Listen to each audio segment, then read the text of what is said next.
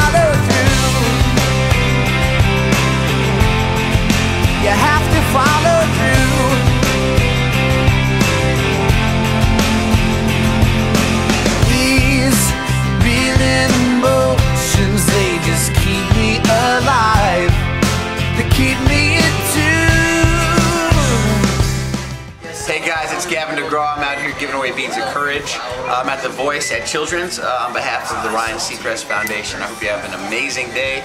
You're doing great, great work here. See you.